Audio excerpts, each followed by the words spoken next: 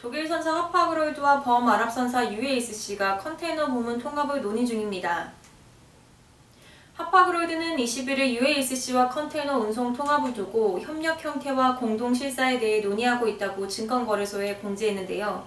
정기선 업계 판도를 뒤흔든 mega alliance 오션 결성 발표 후 하루 만에 하파그로이드와 UASC가 합병을 두고 대화에 나서면서 정기선 업계의 대대적인 변화가 예고되고 있습니다. 현재까지는 두 선사 간 통합에 대한 그 어떤 합의 결과도 나오지 않은 상태인데요. 합병이 진행되면 하파그로이드는 1만 8천 TU급 선박에 더욱 다가서게 됩니다.